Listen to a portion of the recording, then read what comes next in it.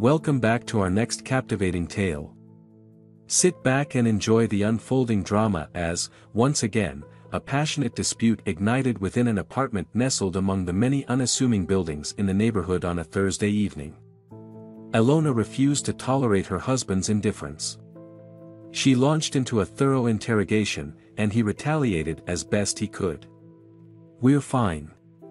Just tired from work, he replied. Unsatisfied, Alona pressed on. Your job hasn't changed in two years. You weren't this exhausted before. Now suddenly you are. It's winter, it's cold. Not enough vitamin D. Why don't you take the family to the sea for some energy? She suggested. But she received only a familiar expression in response. Her car needed repairs, leaving no time for the sea. That's how it was with him. Everything seemed calm and good. He went to work, came home to a prepared dinner, and the child sat quietly, not attempting to resolve family issues. Frustrated, Alona took her daughter to the bedroom, making sure the door slammed loudly. Honey, go play. Mommy needs to talk to Aunt Mary, she instructed, pointing at the toys. While her daughter happily played with the toys, Alona quickly messaged her friend, we fought again. He doesn't want to listen. He just wants to eat in peace. Are you two fighting again, Alona? He stopped appreciating you. Have you considered doing something about it? What are you going to do? Her friend queried. Maybe go away for a few days. Let him miss you for a change. That's a good idea. Alona pondered the suggestion, but there was a hitch. My daughter has no one to stay with. I can't leave her at home with my husband, who's always busy.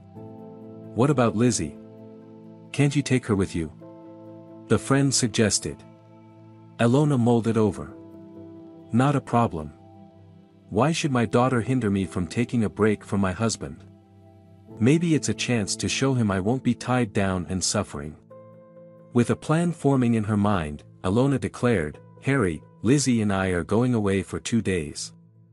I want to take a break with a friend. Harry, taken aback, retorted, a vacation in winter. The weather forecast says it's warm. But what about cooking your own food? I'll buy food at the store. I won't starve, don't worry, Alona reassured him. I'm going with Mary, a former colleague. Harry, seemingly disinterested, muttered, go ahead if you must. Concerned, Alona couldn't shake off her worries. She kept pondering why his reaction was so indifferent, reflecting on their past. Alona reminisced about meeting her husband a decade ago. He was her former best friend's brother and exactly what she desired in a life partner, tall, handsome, and stylish. Their relationship flourished swiftly. Harry lavished her with gifts, took her to exquisite places, and once even flew her to Paris. The memory of their first day in the city, exploring landmarks and enjoying breakfast at a bakery near the Louvre, remained etched in her mind, despite the fact that they had only been dating for six months. Alona had initially considered the trip as just a pleasant weekend getaway, but it became much more significant than that. Will you marry me? Harry asked, producing a black velvet box with a ring from his pocket. Alona, taken aback with surprise and joy, likely screamed a resounding yes. That resonated throughout the hotel. From that moment, their family history commenced, leading to the birth of their daughter and many cherished moments together. However, as years passed, things changed. Harry became increasingly preoccupied with work, distant, and aloof. This shift in behavior saddened Alona.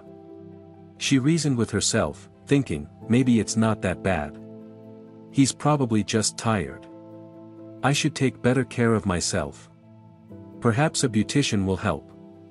Conversing with friends and reading numerous women's magazines and articles, Alona learned about the expectations of being a good wife, taking care of oneself, preparing delicious meals, and importantly, not intruding in the evenings. She genuinely tried to meet these expectations, yet their relationship grew colder by the day. On the brink of their trip, Harry unexpectedly hugged Alona while she was setting dinner on plates. I've realized things haven't been smooth between us. I've been wrong lately. I'm sorry. Concerned about her daughter, Harry suggested, why don't you extend your stay? We've worked so hard to be able to rest. Get yourself a good room for a week. Elona, surprised, asked, but shouldn't we rest together? Harry explained, there's a lot of work right now, a backlog. We need to earn money for us and our daughter. He pulled Elona close, reassured her, and urged her to stay in touch.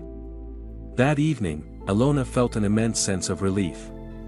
The weight in her chest, constantly reminding her of herself, seemed to diminish. She messaged Mary, contemplating, maybe I'm overthinking. We're fine, he's just tired, and so am I. It's typical for long-term couples.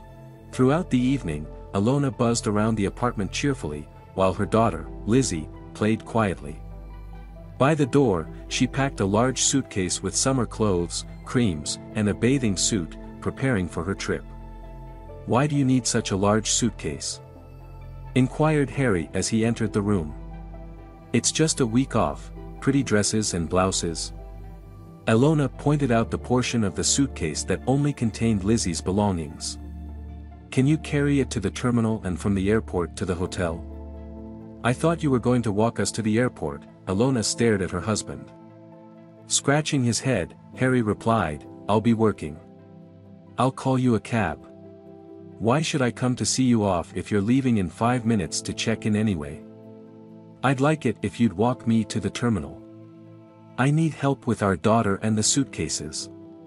It won't be easy to manage everything at once, Elona insisted. Harry dismissed her request, stating, We'll see in the morning. Maybe I can find a way out of it. I'm the head of the department, I can't just spare an hour for this. Elona retorted, if you can't spare an hour for your family, who are you? Fine, don't bother. I'll manage on my own. Frustrated and unable to contain herself any longer, Alona threw things into the suitcase and expressed her discontent. Harry, fed up with the situation, headed for the kitchen, muttering under his breath. The next morning, Alona, momentarily forgetting the arguments, woke up earlier than usual. Harry was not in bed, and assuming he might be in the kitchen, she went to check on her daughter, who was peacefully asleep. Alona, wearing her robe, searched for Harry in the kitchen, bathroom, and elsewhere, but he was nowhere to be found. Concerned, she called him, frantically asking where he was, only to discover that he was on his way to work. Annoyed, Alona shouted, What job are you at? It's only 7 in the morning, and you don't finish until 8. I told you yesterday I'm not going to see you off. Realizing the misunderstanding, Alona cancelled the call, frustrated with her husband's work priorities. As if sensing her mother's frustration, Lizzie woke up and began crying loudly, adding to the chaos. Elona muttered to herself, What's wrong with you, Harry? The day seemed ruined from the start. Elona hadn't expected sudden passionate affection from her husband, which he hadn't shown in years. However, what she hadn't anticipated was his blatant disregard for the family, displayed so overtly. The following hour raced by for Elona. With one hand, she rocked her daughter while hailing a cab to the airport with the other. Once downstairs, she arranged her suitcases and completed the final preparations for the journey. Airport, the driver asked as Elona got into the car. Yes, and if possible, could you please hurry? Packing with my daughter wasn't easy, Elona requested. I won't break any rules, ma'am, the driver assured her. Grateful for the assistance, Elona sighed with relief. Thank you. I'm not asking you to break any rules, my daughter is in the car. The driver glanced at Elona through the mirror. My husband doesn't help me, he left for work early without offering assistance. He's a bad husband. I always help my wife, bring groceries, and assist with airport runs. But I suppose you love your husband, and he doesn't reciprocate, the cab driver remarked. I don't think so, Elona replied after a brief pause. We've been together for too long. Maybe it's a challenging time for him, or maybe for me. Reflecting on it, Alona realized that perhaps Harry was doing just fine, and it was her own worries that troubled her. Arriving at the crowded airport, the driver assisted her with unloading before swiftly departing. Alona settled her daughter and began maneuvering her suitcases toward the check-in area. Messaging Mary about her arrival, she spotted her friend at check-in window 12, carrying only a small backpack. Why such a small bag? Elona asked. Mary explained it contained essentials like a swimsuit, shorts, and t-shirts. Offering to help with the suitcase, Mary remarked on Elona's hectic morning with Lizzie crying and Harry refusing to assist. Do you want the truth? Mary queried. A year ago, he used to carry you both. He isn't now, is he? Shaking her head in disbelief, Alona replied, no, that's not true. However, Mary expressed doubts about Harry's behavior, suggesting he might not be paying much attention to his daughter. I don't want to believe it, Alona protested. He's just tired. He's always working on unfinished projects. Smiling, Alona said, men talk a lot, painting beautiful pictures. Not something you want to think about right now, Mary noted as they approached the check-in counter. Alona handed over her passport and confirmed her luggage. Your luggage? Asked the receptionist. Yes, it's here, Alona confirmed, but Mary intervened, placing the suitcase on the belt herself. Let me help. After all, we're on vacation. Alona smiled. The receptionist swiftly printed boarding passes for Alona and Mary, who quickly checked in and proceeded to the waiting area, realizing they had an hour and a half to spare. I suggest we sit in a coffee shop, Alona suggested, her face glowing with excitement for coffee and dessert. They found a relatively quiet coffee shop where Alona settled into a chair, beaming at her daughter. After perusing the menu, she ordered coffee and dessert, while Mary opted for tea and Napoleon. As their orders were taken, Mary inquired about what was happening between Alona and Harry. Shaking her head in confusion, Alona admitted, I honestly don't understand. It was so different a couple of years ago, even a year ago. He was kind, attentive, showered me with gifts. We traveled, bought a home and a car together. But now. He's different, Mary finished for her. It's strange that he's distant, not just from you but from Lizzie too. His reaction to the trip is worrying. It's one thing to be tired, but not wanting to spend time with family is odd, Mary remarked, concerned. Are you sure he wasn't relieved you were leaving? I don't think so, Elona responded. Though he might be glad to avoid talking to me for a whole week. I just hope he misses me, and we can mend things. Their drinks and desserts arrived, prompting Mary to suggest they finish quickly to avoid missing their flight. Let's not dwell on Harry and just enjoy our vacation, Mary encouraged, trying to uplift the mood. The flight went smoothly as Lizzie slept, and Alona looked out the window, trying to distract herself with music and the city views upon arrival. Wow, it feels like summer here. Mary marveled as they stepped outside, shedding their jackets. Deciding to grab a cab and head to the hotel, Alona marveled at the sunny weather, palm trees, and the stunning view of the sea. I don't even feel like being sad, Alona remarked, amazed at the beauty around her. The hotel rooms matched the pictures, featuring a stylish and modern design, complemented by a luxurious lobby. The friendly receptionist efficiently provided guest cards and guided them to the elevator. Beside the elevator, a large mirror reflected Alona's full-length image. Observing herself, she thought, I've really let myself go. My legs and hair need attention. I should visit the hairdresser, I used to take better care of myself. Alona suggested to Mary, let's find a hairdresser first, touch up, and maybe trim the ends. Great idea. We can go out tonight. I'll entertain Lizzie while you're at the salon, Mary agreed. Entering the luxurious hotel room, Alona was delighted to find two rooms, one for her and one for Mary. The room boasted a large table, a beautiful green velvet armchair, and, most importantly, a massive window overlooking the sea. Overjoyed, Alona exclaimed, I'm thrilled. Opening the windows, she welcomed the sea breeze into the room, expressing her happiness.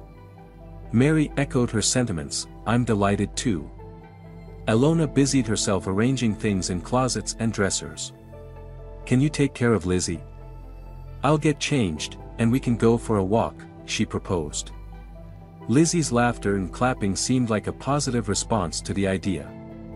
The first day of their vacation felt like a continuation of their home life. However, the second day felt like the start of a new chapter. Mary led Alona to various interesting places.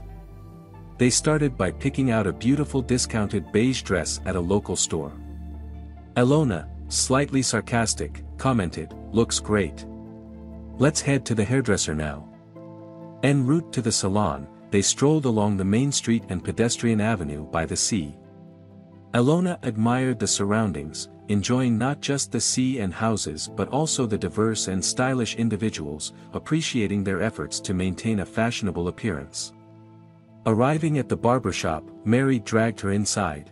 Alona expressed her desire for a braid and briefly contemplated a subtle highlight, intending to consult the hairdresser's opinion. Upon entering the salon, Alona noticed a blend of floral scents, hairspray, and hair dye. A short girl in a black apron greeted them. How can I help you? Asked the hairstylist as Alona expressed her desire for a haircut and to address the yellowing of her hair. The hairstylist, attentive to Alona's request, gestured toward the chair, assuring her, everything will be taken care of. Please, take a seat. I'll stay here with the little one, Mary offered, settling into a chair while holding Lizzie. As Alona sat in the chair, holding Lizzie, the hour flew by swiftly. When she glimpsed herself in the mirror, she saw a rejuvenated version of her old self, a beautifully groomed woman with bright, lively eyes. Pleased with the result, Alona thanked the hairstylist and took some selfies, contemplating sending one to her husband. She grew anxious at the thought but eventually decided to share it with him. How did it go? Mary inquired as Alona emerged. It's gorgeous, suits you perfectly. Let's go and flaunt it, Mary suggested. The day drew to a close as dusk settled over the city. Alona and Mary strolled along the promenade, observing the cityscape, including the tall spire of the train station visible in the distance. Exhausted from the day's activities, Alona proposed heading back to the hotel. Let's relax in the room and order some food, Alona suggested. Tomorrow's going to be packed. Back at the hotel, Alona put Lizzie to bed and quietly retreated to the other room. Mary remarked on the challenge of putting a child to sleep, acknowledging the difficulty of parenting. I'm thinking of ordering champagne, Alona pondered aloud, but hesitated, mindful of being on vacation with her responsibilities. You can have a drink if you want, she said to Mary. Unsure, Alona declined, opting for tea while Mary decided on wine and snacks. Moments later, a waiter dressed in black appeared at the door, signaling the start of their vacation evening. May I take your order, thank you. The waiter inquired as Mary wheeled the cart into the room and began arranging plates and cups on the table. Is there anything else you need? Asked the waiter. Mary jokingly replied, yes, good company, causing the waiter to feel slightly embarrassed before excusing himself and leaving the room. Watching Mary indulging in multiple drinks, Alona grew tense, worried about her friend's increasing inebriation. After Mary's third drink, Alona suggested, maybe that's enough. Expressing concern. I'm not going anywhere with Lizzie asleep, Alona emphasized as Mary mentioned going out for the night. Despite Mary's disappointment, she dressed up and left, intending to enjoy the nightlife. Alone in the room, Alona checked her phone, finding no messages or calls. Concerned about Mary's whereabouts, especially when she didn't return by 3 or 4 in the morning, Alona contemplated calling her but refrained from doing so. Shortly afterward, Mary sent a picture with an unknown man. Concerned, Alona asked about him, cautioning Mary not to bring him to their room. Responding immediately, Mary reassured Alona about the man and playfully called her a coward, affirming that they wouldn't let him into the hotel without Alona's approval. Suddenly, Lizzie started whimpering, prompting Ilona to attend to her daughter, who seemed to be awake and distressed. After comforting and soothing Lizzie back to sleep, Ilona lay down next to her, awaiting Mary's return. As the sunlight streamed through the windows, indicating a new day, Ilona woke up. She checked on her still sleeping daughter, noticing her movements in slumber, and smiled at her antics. Preparing coffee in the kitchen area, Ilona heard a knock on the door and found her friend, tired but content, standing outside. Mary had returned, holding her shoes in hand after a night out. Hello, did you sleep well? asked Ilona. Not really, replied Ilona. I was worried about you. You didn't have to be, I'm fine, Mary assured her while noticing the aroma of coffee. Oh, it's coffee. It smells wonderful. Can I have a cup? Sure, I made just enough for two, Ilona said as Mary, showing signs of fatigue, settled onto a high stool at the bar counter and took a sip. You have no idea who I met. Now I'll tell you everything, Mary exclaimed, but Ilona urged her not to shout as Lizzie was still asleep. Mary then narrated her encounter with a man at a popular local bar, emphasizing his charm and interesting profession as a director. If he's a good guy, I'm happy for you, Ilona smiled. But don't rush to conclusions about him on the first day of meeting him. I'm not in a hurry, Mary responded enthusiastically, detailing how attentive and considerate he seemed, drawing parallels to Ilona's early days with Harry. Really? Where are we going? Ilona inquired. Mary explained she suggested Max bring his friend and they all have dinner together, assuring that Lizzie was welcome too. Ilona expressed hesitancy about meeting someone new, emphasizing her commitment to her marriage, but Mary insisted on expanding their social circle without any commitments. Mary brought up concerns about Harry's behavior, asking if Ilona had checked his phone for any signs of infidelity. Ilona defended Harry, stating she hadn't noticed anything suspicious.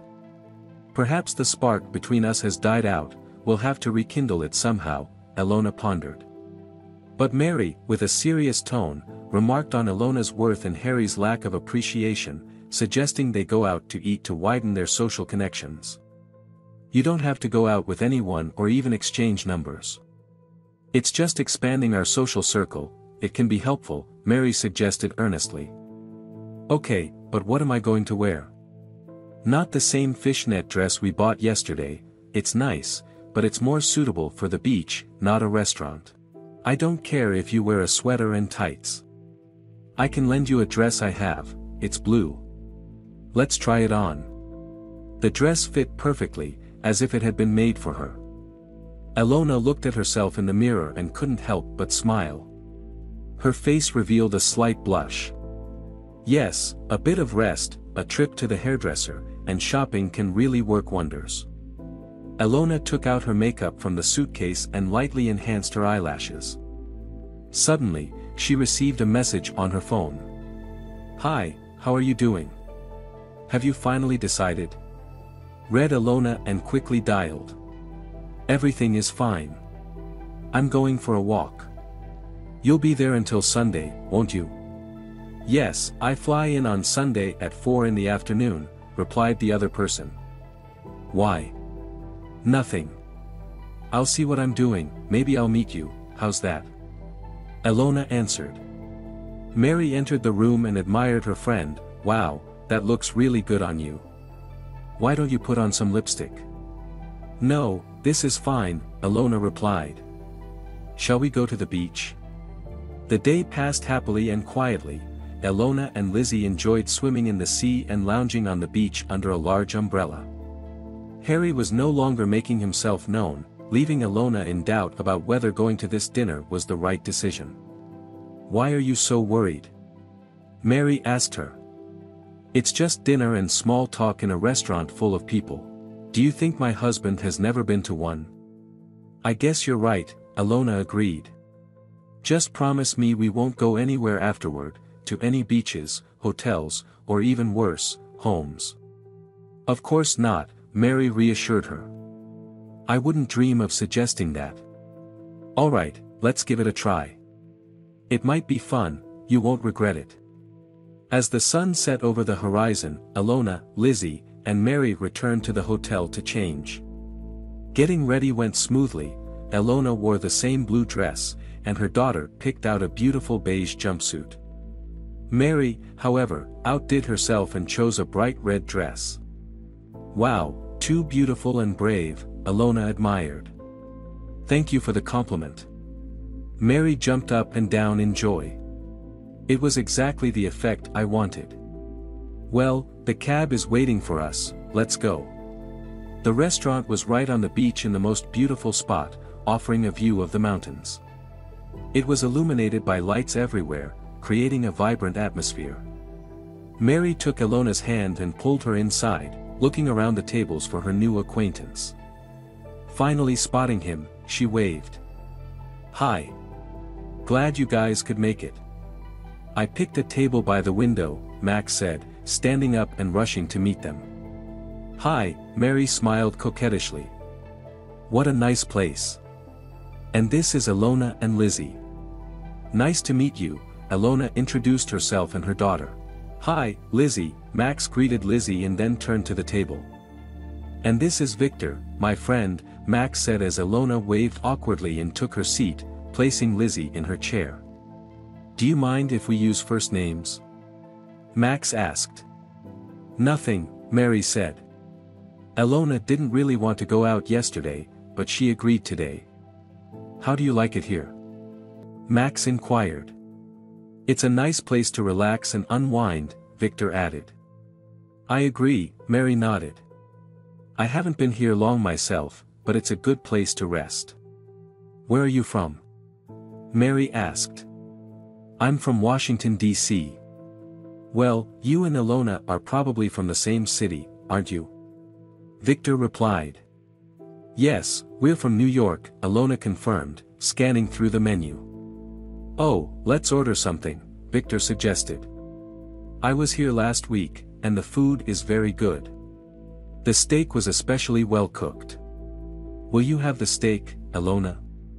Mary opened the menu and flipped through a few pages. You like meat, don't you?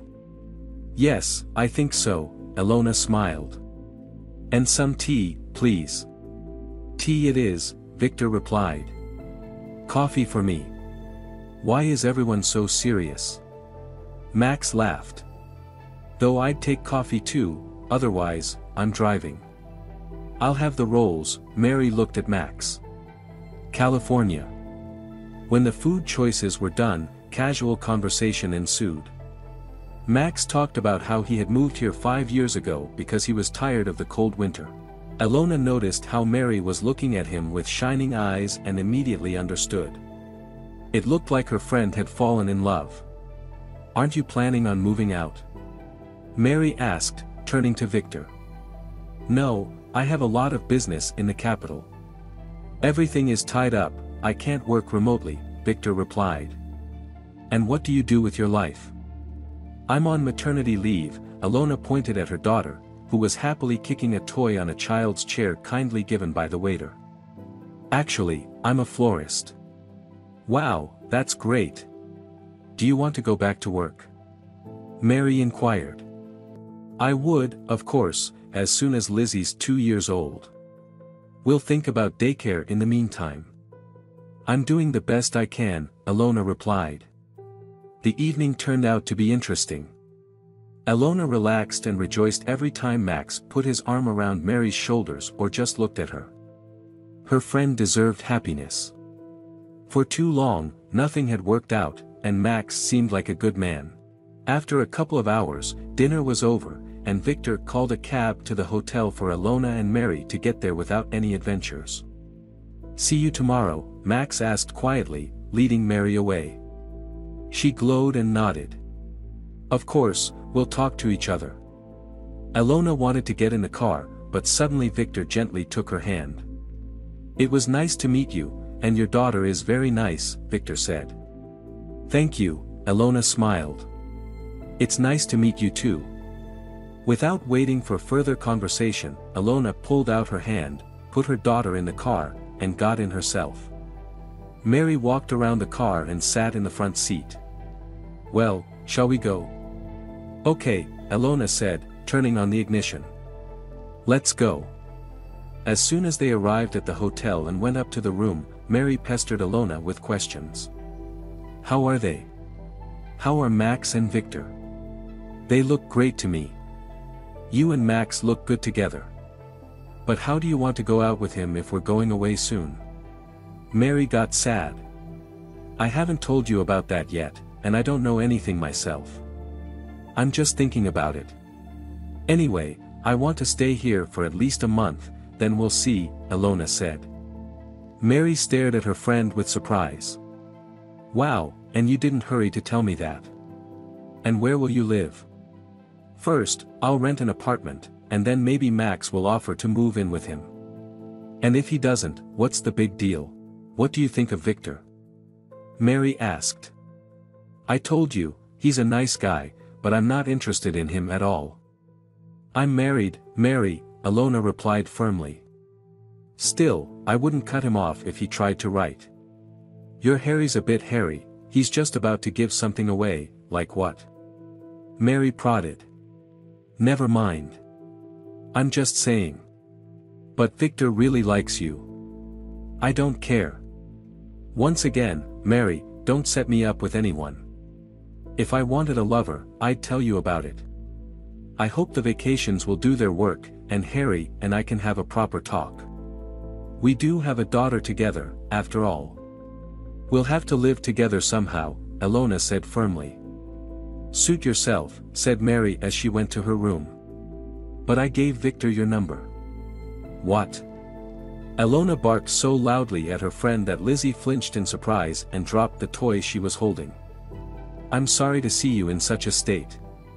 I can understand your frustration. Daughter, why did you do it? Elona asked Mary, feeling exhausted. Oh, stop it. That's it. I'm very tired. I'm going to bed, Mary responded abruptly. He won't write to you. You didn't even say goodbye to him. It's okay, forget it. Good night, Mary closed the door behind her, leaving Elona seething with indignation. Taking her daughter in her arms, Elona sighed, It's time for you to go to bed, honey. Lizzie shook her head, indicating she wasn't hungry. Elona noticed her daughter looked tired. She placed her on the bed, lying down next to her. What was she even thinking? Elona continued to get upset, feeling frustrated with herself as well. Why did she even go there and let herself be talked into it? What will happen if Harry finds out that I'm here on vacation, going to all kinds of cafes with men? He's working there, earning US money. What about me? Making a firm promise to herself not to engage in such situations again, Alona closed her eyes and let fatigue overtake her. Sleep took over almost instantly, but a few hours later, Alona was jolted awake by her daughter's screams. She turned on the light to find Lizzie all red. Panicked, she rushed to the suitcase, searching for the first aid kit, specifically the thermometer. Taking Lizzie's temperature, she noticed it wasn't too high, but the allergies had returned, likely due to the local flora and fauna. However, there was a problem, the medicine that usually helped was left at home. Elona grabbed Lizzie and rushed to the front desk. Good morning. My daughter has allergies. Can you tell me where the nearest pharmacy is? Elona asked anxiously. Hi, there's one a block away. Is there anything we can do? What's wrong? Should we call an ambulance? The staff inquired with concern. No, I just need to go to the pharmacy. It's happened before.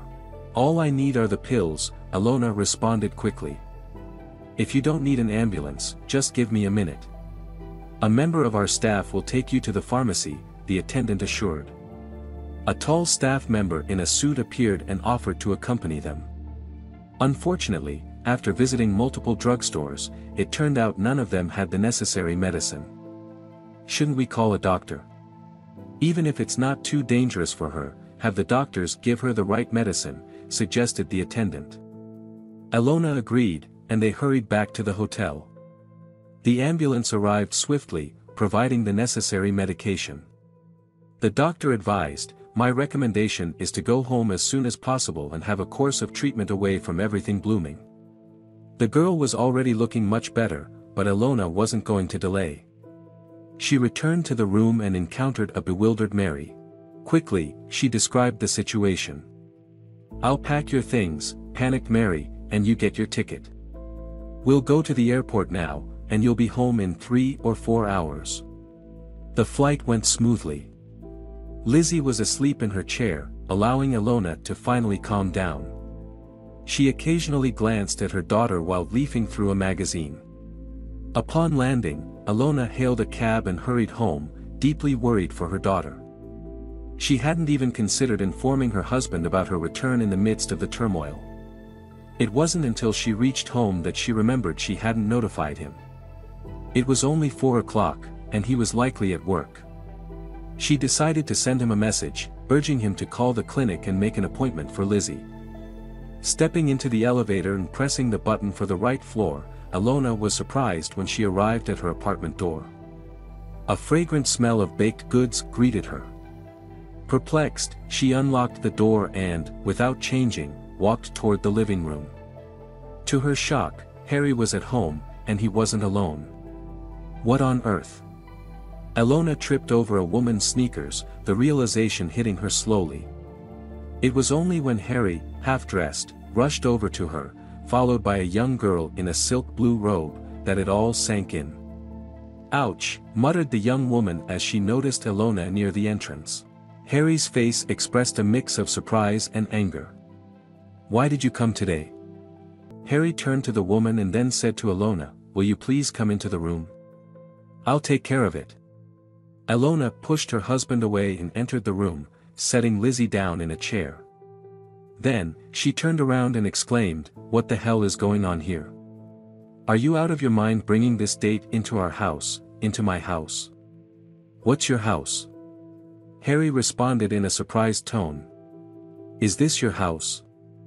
I thought it was mine. I bought it with my own money. Have you forgotten already? Ilona was speechless, sitting on the edge of the couch, staring into the void, hoping it was all just a stupid dream. She hoped she hadn't drifted off yet after hours of strolling along the promenade. Ilona rubbed her hands together, pinched herself, realizing with despair that it was all true, the awful truth. And yet, Mary had warned her that something wasn't right. Why hadn't she believed Mary? Why did she hold on to the belief that she and her husband could still work things out? Okay, Elona spoke with difficulty, if that's the case, go away. I don't know what you were planning to do, but leave. Harry closed the door and approached her, speaking softly but with an audible tone. No, you can't kick me out of my apartment. Understand? I've consulted experts, this apartment is a hundred percent mine. So, you'll be packing up. If you want to come back early and ruin it, you pack up right now. What are you going to ruin, actually? Elona asked. Lizzie got sick, her allergies are acting up, so we got here early. You know that. How long have you been lying to me like this? Ignoring her question, Harry was more concerned about something else. Take Lizzie and go. I'll get custody later in court, and we'll decide what days I can take her in. That's all there is to it. There's nothing more to discuss. What are you sitting there for? Get ready. I'm not going anywhere. My daughter's sick, she needs to see a doctor. It's evening outside. Where do we go now? Ilona challenged. What is she sick with? Harry glanced at his daughter. There she sits, smiling.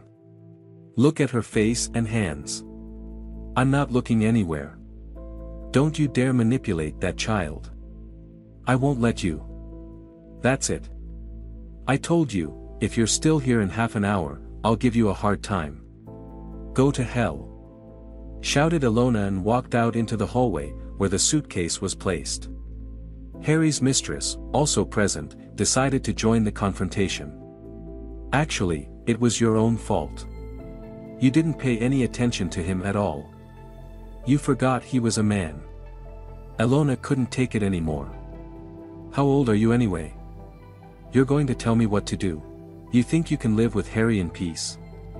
No, I won't give you a quiet life. Taking her daughter in her arms, Alona rolled the suitcase into the stairwell. Behind her echoed the disgruntled cries of the offended mistress. Alona hurried away to the elevator, and Harry slammed the door loudly. In the silence of the entryway, Alona could clearly hear their conversation. Harry attempted to convince his mistress that it would never happen again, and Alona was no longer an obstacle. Furious, she resolved to be a liability, making it impossible for Harry to have peace. What do we do now? Where do we go? Alona wondered aloud. Mary hadn't returned yet, and she couldn't think of another friend with a small child in a one-room apartment. You can't go to their place, her parents are in another city, Alona muttered to herself as she stepped outside and settled onto a nearby bench. She dialed her friend Mary's number, but Mary's response was barely audible over the background music. Get out of the way and find someplace quiet, Alona shouted as she struggled to hear. Mary eventually responded, What's going on? Is it Lizzie? How was your flight? No, it's not about Lizzie, Alona explained, detailing the unsettling encounter with Harry. Mary was shocked into silence, struggling to find the right words before she eventually blurted out, But where are you going? Why did you even leave? It was your house too.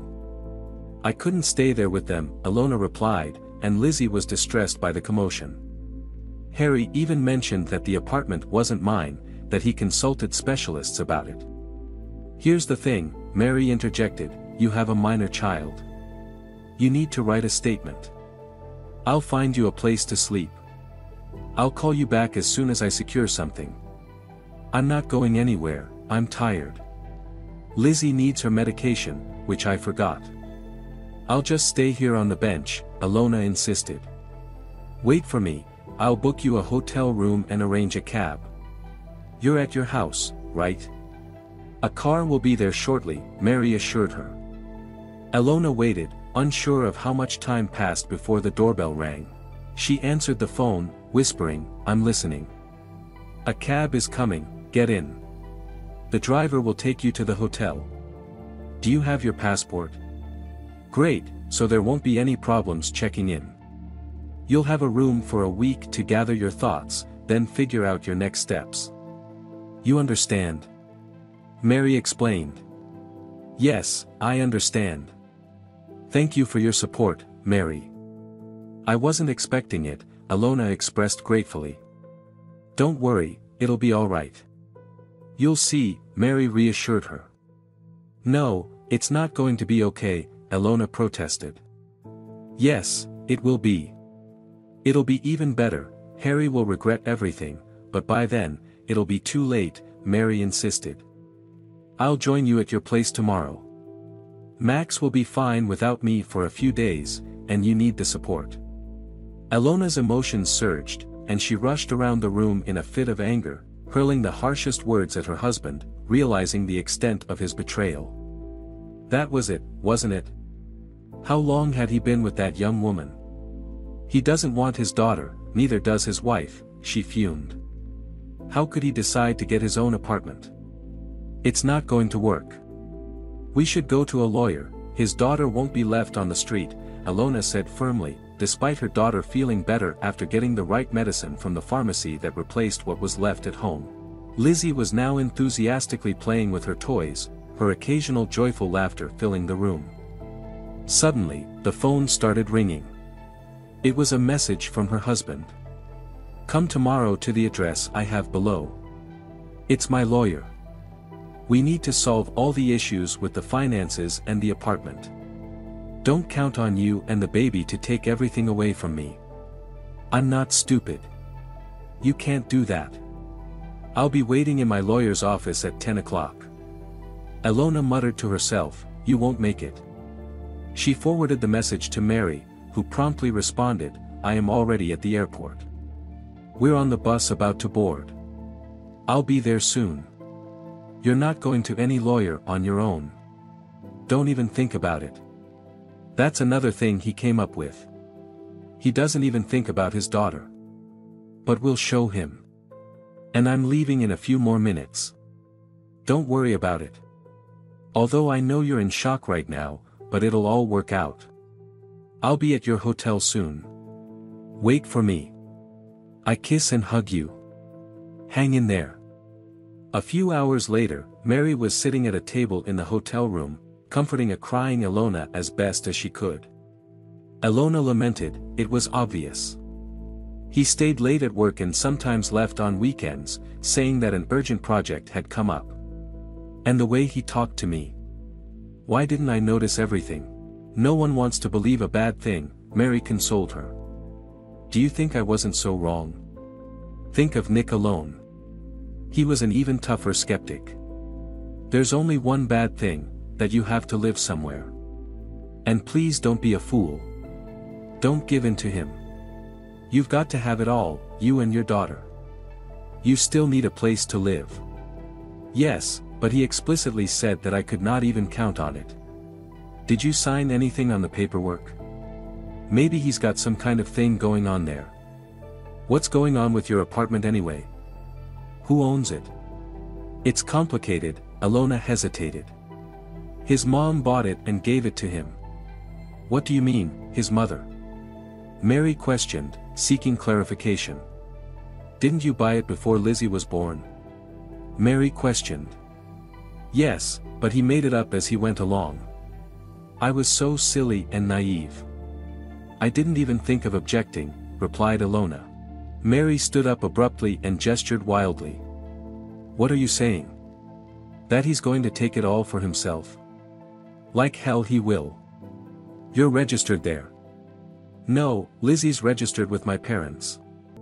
He kept promising he'd get her registered, but he never got around to it. We had an argument or something, Ilona explained sadly, shaking her head. Well, here's the result, girlfriend. Are you crazy or something? Mary exclaimed with disbelief. Ilona nodded sadly. Now I don't even know how I could have let that happen. Mary sat down, then suddenly jumped up in her chair again, unable to calm down. It's just nonsense. I'm going to write to Max. I think he has a lawyer friend. No, it's not Victor, it's another friend. Maybe he can give me some advice. Don't do that, Alona objected. Why? He wants to defend that bastard. Mary retorted. No, I don't. You've got to get everything you can out of him, Alona clarified, acknowledging the difficulty of the situation. The following day, Alona dressed in her black suit, an item she had brought on vacation for some reason and it stayed in her suitcase. She styled her hair in a high ponytail and picked up her daughter. Mary met her on her way out of the hotel, also dressed in a businesslike manner, accompanied by a man Ilona didn't know. Hi, this is Gerard. He's a lawyer. Now let's go. Harry was already waiting in the office and was taken aback when they entered with a lawyer. He looked at his wife with a disgruntled expression, questioning, who the hell is that? It's the lawyer, Ilona said confidently. Why? Why did you bring your daughter here? You think you can get something through her? Harry argued. I don't think anything. I had no one to leave her with, but here we go. What did you want to tell me? Elona retorted. The lawyer, a tall blonde woman in a tight skirt, smirked before reading out the documents. So, let's begin. From Harry's side to you, Elona, there is the following offer. He offers you $400 for the first time and pays monthly alimony to support his daughter, also $400. Elona jumped out of her chair in disbelief. Are you kidding me? Are you out of your mind, Harry? I know for a fact that we had at least 300,000 in our accounts, and by the way, some of it was mine. What's yours? What 300,000? Are you out of your mind? It's not yours. You spent it all while you stayed home and didn't work, and on vacation. What money did you use to go on vacation? Harry retorted. Ilona stood her ground, rejecting his claims. Sit down and think about it. I don't think so. I'll apply for you. Wait, Ilona, the the lawyer intervened, extending a hand to Harry and pointing to a folder of documents. I have requested from you the certificate of ownership of the apartment and all the other documents related to the property, and I'll be preparing a lawsuit for court division of property, determination of joint custody, and, of course, child support, the lawyer stated. What kind of lawyer have you brought in here? Harry barked. I've got some bad news for you. He's not thinking straight. What kind of documents am I supposed to give you? Here's a piece of paper you can wipe your face with. No insults, Gerard replied calmly. Mary looked at her friend, then at Harry, but Ilona couldn't look at anyone and just stared at the floor. We could not accept your proposals and will file papers in court. Await an invitation to the hearing. That will be all, Ilona, you can go now, said the lawyer. Four hundred dollars would even be a lot for you. Shouted Harry in the back. If you don't take it, you won't get anything at all. Don't even think about it. You're half, but you're a naive idiot. Mary tugged Ilona by the sleeve, urging her to leave. A spring breeze was blowing outside. Ilona stopped in the parking lot to breathe in the fresh air. In that office, she felt as if there was nothing to breathe at all, and she was about to suffocate. Ilona picked up her daughter and held her close. Don't worry, honey. It's going to be all right, she assured. Gerard came closer. We have to talk about the whole situation. Let's sit down somewhere. Ilona looked around. There are some benches over there. Let's go. We need to work out a strategy. I suggest we draw up a petition and go to court. Do you, Elona, want to raise your daughter on your own? Of course, I do. Do you think I can give her everything I want just to get my share? Elona replied. We bought the apartment a year after we were married, and we wanted our child to have it. And of course, we were saving up. Yeah, I was on maternity leave for the last year, but we talked about it. It wasn't just me who wanted it, it was him too, Elona explained. Unfortunately, agreements are just words, the documents are the proof. How did it happen that your husband signed everything over to himself? Gerard inquired. I didn't follow up on it, and I trusted him. I never thought it would turn out like this, Ilona expressed with regret. Unfortunately, it does happen. I have to tell you the truth. If it's legitimate, it's going to be very difficult to get anything for you. But I guarantee we'll file for child support and we'll try to get to the truth, Gerard assured. Thank you. I know I trusted it myself. I can't even believe it. I just wish I could take it back, Ilona lamented. You can't go back, but you have a future, Mary pointed out. Everything is going to be all right, she said, looking at the lawyer. Thank you for your work, Gerard nodded and left. Ilona and Mary decided to return to the room to put Lizzie to bed. The hotel is only for a week. What would I do after that? The thought troubled Ilona.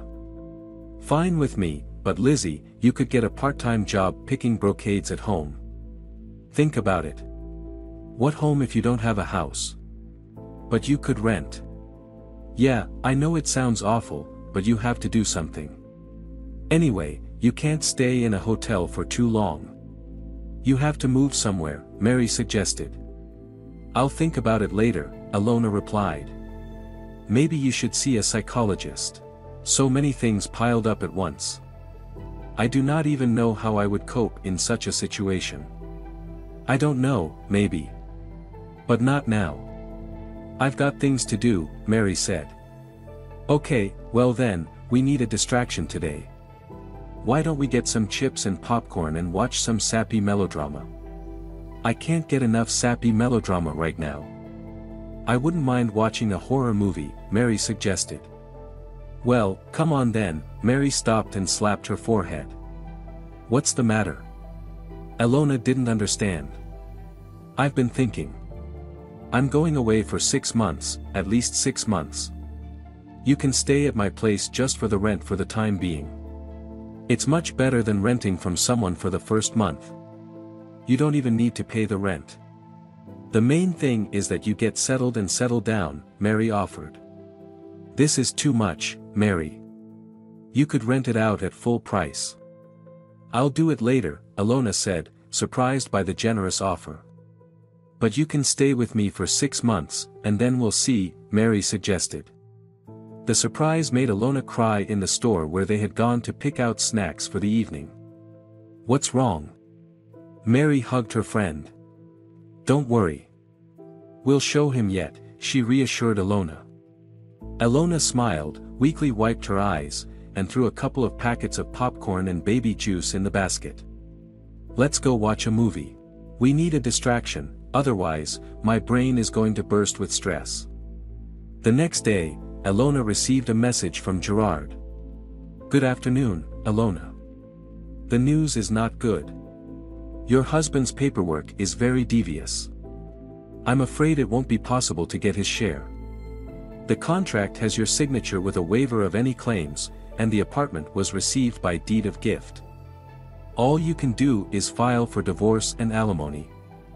Mary ran up to her friend after reading the message. Look, after reading the message, Mary stood with her lips pressed together, gloomily looking at her friend. I don't know what to say. When you manage to sign a waiver, I can't understand it, Mary expressed her confusion. He said something about it being easier to process, Alona said. It seemed to Alona that everything that was happening was not true. It was just a very bad dream, and she was bound to wake up. Reality invaded that dream in the form of a text message. Are you happy now? So she takes her $400 and runs, and from now on, that's it. Don't even think about calling me, don't interfere with my life, Alona firmly responded. What about your daughter? Mary asked. The court will set a schedule. I'll take her to my place. That's great, isn't it? So, I will raise her, take her to kindergarten, feed her, dress her, and do her homework with her. He will take her for a couple of weekends. That's awesome. What a bastard. Why don't we try to make it so he can't see her? Why would the baby need a daddy like that? Mary suggested. It's not Lizzie's fault, and he's her daddy, Alona replied. But somehow, I don't think he'll take her. His mistress is not likely to want to babysit her, and I wouldn't trust her with my daughter, which means he'd have to kick her out. I don't think he's gonna do that. I don't think he would, Mary agreed. This is getting funnier by the minute. Can I stay with you? Of course, you can, as long as it takes. I wanted to leave in a week. Can you bring your things? I don't have much here. I keep everything in a suitcase in the pantry, Mary replied. Thank you, Alona shook her friend's hand. You're a lifesaver. You would have been fine on your own, but why when you can make life easier? Never mind. I hate him, Mary expressed. I know what you mean, Alona said, and they hugged each other. The days flew by in a hectic rush, dealing with paperwork, applications, and taking care of Lizzie. Alona felt overwhelmed at times, waiting for her daughter to fall asleep while sobbing in her chair for hours. However, amid the challenges, there were moments of hope. A month had passed since Alona had returned home, and she started feeling a bit better. She moved all her and her daughter's things into Mary's apartment and managed to create a sense of home comfort, essential for both of them. Difficult days arrived when she had to go to court to sign papers and agreements, feeling like a little girl who had made a huge mistake. Finally, when all the litigation was over, her ex-husband owed only child support. Though the amount wasn't much, it was enough to sustain herself and her daughter as she started looking for work. I will spend more on the nanny than I earn, Alona lamented in a message to Mary. What's the point? I'd rather save money and think of something else. Maybe even try to save a little, Alona contemplated. One evening, she had the very idea she'd been waiting for. She quickly grabbed the phone and dialed her friend Mary. What if I don't go to work and pick up the brocades myself? You said something about that, but I didn't know how to do it. Now, I like the idea. I can buy some flowers, assemble different bouquets, take pictures for social media. What if someone buys them? Elona suggested. That's exactly what I was talking about. And you wouldn't need a babysitter. You have a refrigerator, plenty of room for food and bouquets. Then I'll start right away. I haven't managed to save much, but it's enough, Alona explained.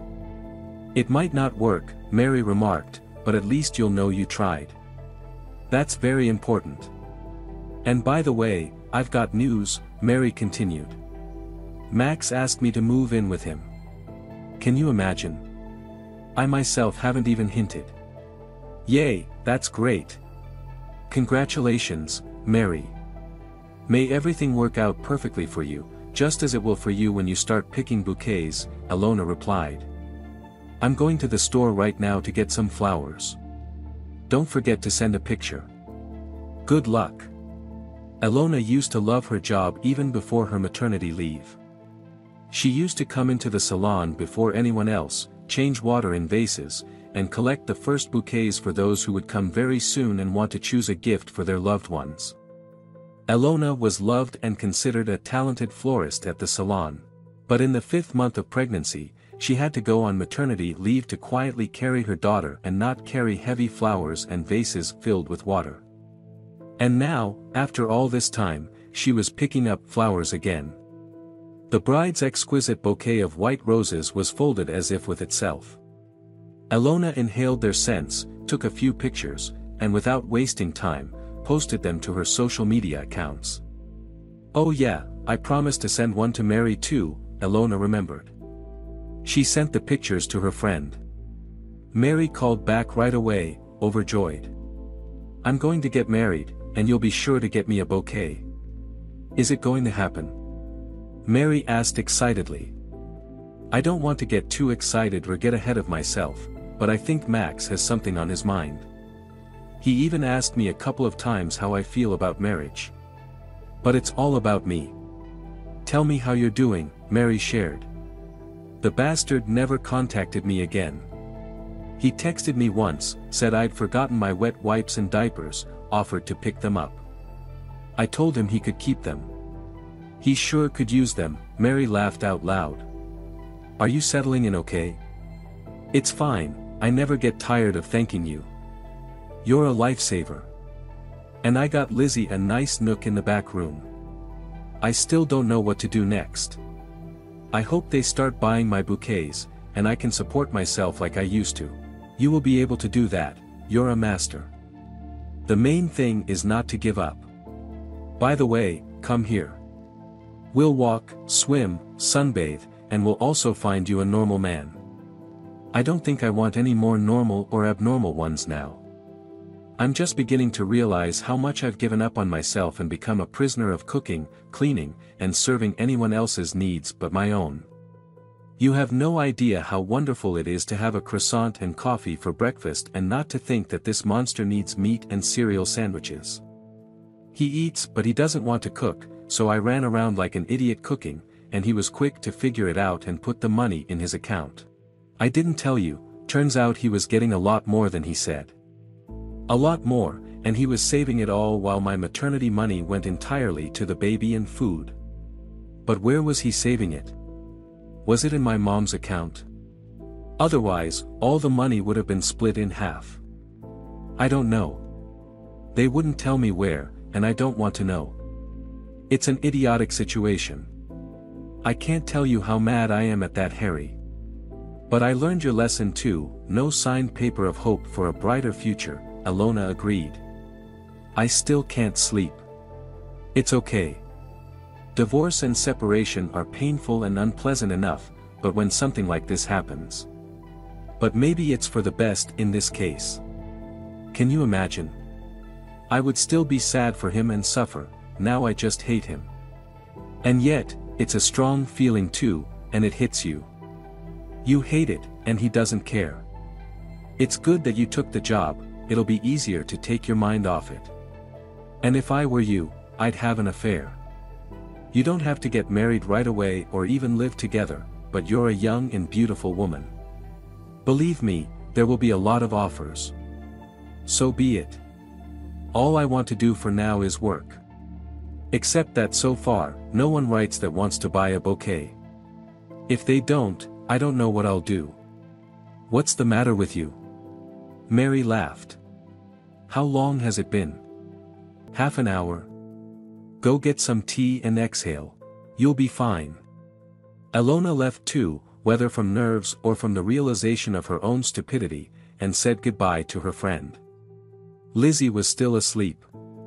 Elona went to the window, which offered a breathtaking view of the city. At that very moment, the sun peeked out from behind a cloud, and Elona smiled. She didn't feel like crying now. Maybe Mary was right, and everything really was still to come. However, no matter how much she wanted to believe in miracles, reality kept coming back. It manifested as an empty fridge and purse, a crying daughter desiring a new toy like the character from the cartoon, and her own reflection in the mirror lacking a good moisturizer. It had been two days since Elona posted a picture of the bouquet, yet no one had placed an order. The good mood that came from the new endeavor was swiftly replaced by disappointment. I guess I'm a useless, dumb idiot. How could I screw up my life so badly? Scolded herself alone. She was frying eggs for breakfast when the phone rang, but she didn't pay attention, assuming it was another spam message or text from Mary. However, she decided to check it a little later. Elona took Lizzie out of her crib, settled her on a chair with some cereal, and sat across from her, consuming the eggs hungrily. Only after finishing the meal did she remember the phone. She turned it on, and a message popped up on the screen, Hi, it's Victor. Remember we went to dinner? I hope you don't mind that I texted you. I just wanted to know how you were. Elona put the phone on the table, stepping away, her heart pounding. I will not answer him, she vowed. I don't want anything. Or do I? Lost in thought, Elona began to wash the dishes. Water always calmed her, but not this time. Suddenly, without even giving herself time to think about what she was doing, Alona grabbed the phone and answered it. Hi, I'm fine. And how are you doing? Immediately, she regretted her action, wanting to delete the message, but it was too late. Victor had read it and was already typing a new message. I'm fine too. I flew to your city the day before yesterday, and while I'm staying here for work, I thought maybe you would like to see me. Maybe you could show me around, and you could take Lizzie with you. Elona didn't answer and called Mary. Her friend didn't pick up the phone right away, and when she did, she sounded tired and out of breath. Hi, I'm on the treadmill. Is everything okay? Elona said, Victor texted me asking me to go for a walk. Yeah, Mary realized and apparently turned off the treadmill. The buzzing in the tube has subsided. I forgot to tell you, what did you forget to tell me? Elona asked sarcastically, already anticipating the response. Mary giggled before explaining. Not long ago, Victor was here, and Max and I saw him. Victor asked about you. I told him a little bit without any details. Don't get me wrong, I just told him that you're single now and that your husband was very bad to you. It was like he was upset for you, and he said he was sorry. I mean, you're such a beautiful girl. And that wasn't all. Then when we were breaking up, he asked me if I could call or write you. I said I didn't know how you'd react, but it's always worth a try. He likes you, Elona, even back then, and he doesn't even mind at all that you have a daughter. He said Lizzie was a very nice girl. Don't be mad at me, please. I didn't give him your number, I swear he asked for it. Okay, he asked if I would go out with him. Oh wow, Mary marveled. What did you say? Nothing yet. I don't know. I'd go if I were you. As I said, you don't have to marry him. Do you? Yes, but taking Lizzie with you, it seems strange to me. Well, get a babysitter for a couple of hours. You should definitely get some rest, take a walk, socialize. I know a nanny. I left Lizzie with her when I went to court. She's very cheap. Alright. I don't know if she can babysit anymore, Corey Mary screamed. Good luck to you, be sure to let me know how it went later. The nanny turned out to be free, and Ilona finally decided to answer Victor. It's okay tonight or tomorrow, not without Lizzie. I've decided to leave her with the nanny. The answer didn't come right away, but when she read it, Ilona smiled. I'm glad you agreed. If you can, let me pick you up today at 6. It was a few hours before 6, and Ilona was running around the room, going through the children's toys and picking out her outfit. She wanted to look delicate and feminine. Well, the dresses she had left much to be desired and did not fit her figure at all. And then, when all the contents of the closet were thrown on the floor, Ilona finally stumbled upon a dress she had forgotten about. Ilona immediately tried on the dress and admired herself. She could go in it without worrying about someone looking at her obliquely. By 5 o'clock, the babysitter arrived, and Ilona briefed her about her daughter's new skills. Don't worry, Nanny assured her. We're going to have a great time, won't we Lizzie? Lizzie nodded happily and pulled Nanny to look at the new toys. Finally, Ilona had some time to herself. She rushed to the bathroom to do her hair and makeup. She decided to limit herself to a minimum of makeup so as not to look too dressed up, and in a few minutes, she was ready. Victor called and asked if Ilona could come out already, saying he was waiting for her downstairs at the front door. Hardly believing it was really happening, Ilona kissed her daughter on the cheek and asked her to behave, then hurried downstairs. Victor was standing not far from the door and immediately walked forward upon seeing her. He smiled at her. I'm glad you agreed, he said. Hi. Ilona tried to contain her smile, but she couldn't help smiling broadly. Victor looked stunning in a light summer suit, and of course, with flowers.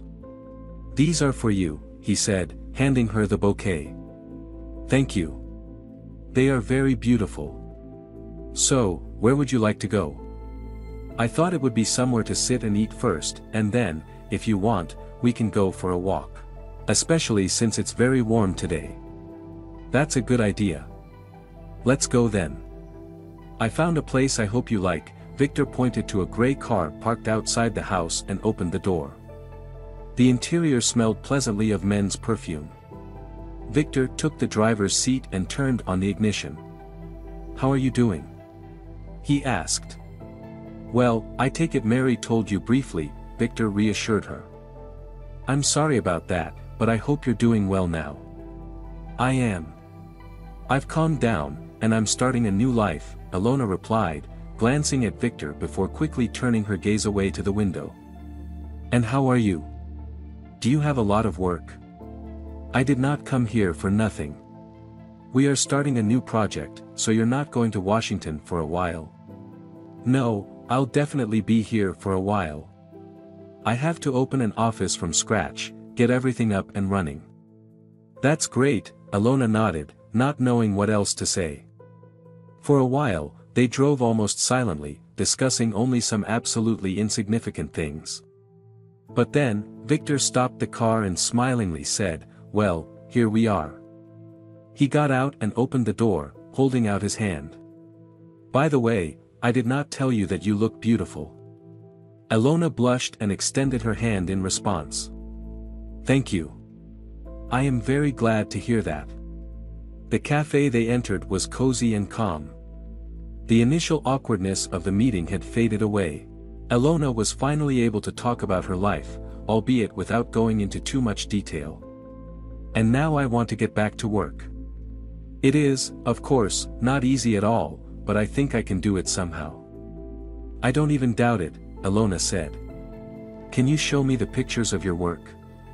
Victor asked. Ilona nodded and found the portfolio pages on her phone. Victor flipped through the pictures for a few minutes and then pointed at one bouquet of flowers. We're going to need these. Can we discuss it later so I can place an order? Victor inquired. But, no, Elona flustered. This is an acquaintance, right? Just to be supportive. I certainly want to be supportive, but I wouldn't order anything if I didn't need to. It's just that we want to decorate the Hotel Lodi, and these flowers would be perfect for us. Oh, Elona was surprised. But then I'd just be happy to work. Sure, we'll discuss it later when you're ready.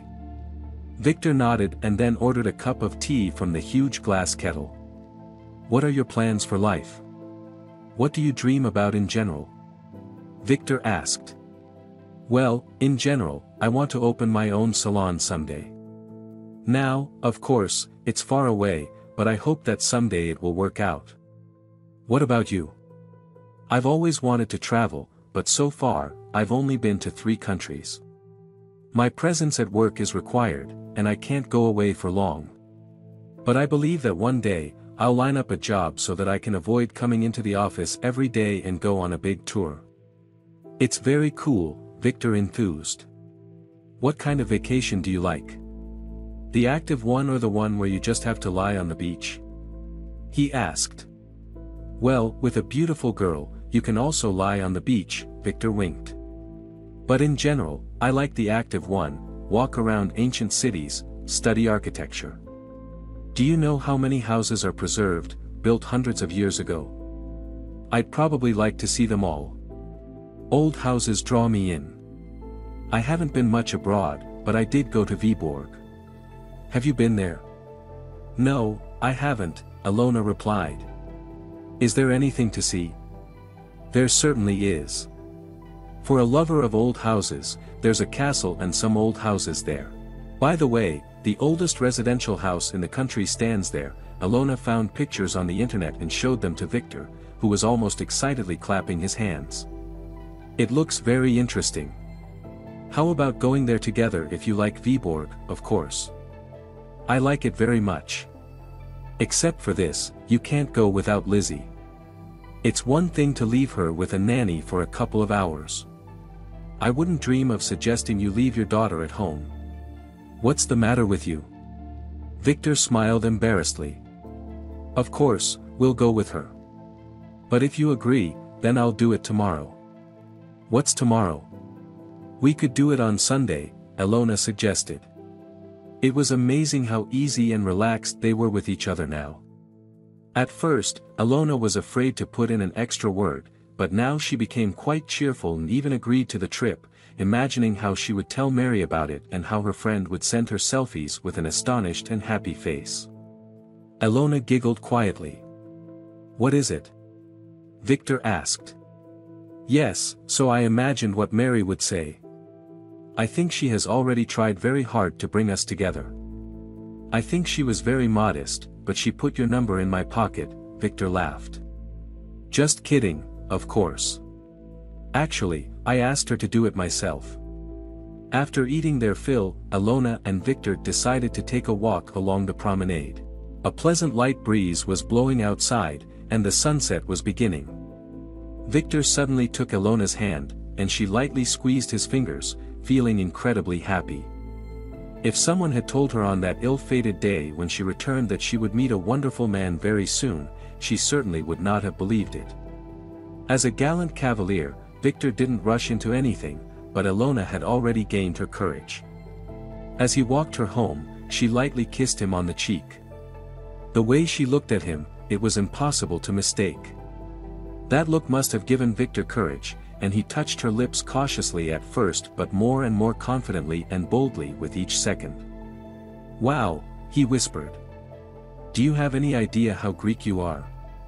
Alona blushed and bit her lip. She did not want to say goodbye, but her daughter was waiting for her at home. Promising to write, Victor walked Alona to the door of the apartment and went downstairs. Alona opened the door and went into the room. The nanny came out to meet her. I put her to bed quietly, she said. How did it go? Wonderful. Thank you for your work. The next day, while walking the streets of Viborg, Alona received an order for a bouquet. She had only to believe in the best, and it began to happen as if by itself. Already back home, Alona told Mary about it on the phone, and they both laughed with joy. See? You didn't believe me. But the most important thing is that now you know. Astounding, Alona. That lawyer, Gerard, wrote me today. Remember? You won't believe it. I'll tell you if you're ready to hear it. What is it? Well, he was going through the paperwork and found one certificate that said you were entitled to money after all. Gerard contacted Harry and found out something incredible. Turns out, he didn't have any more money. The idiot had it all in the name of his mistress. What do you mean? Elona was surprised. I thought it was for my mother, but it turned out she wasn't.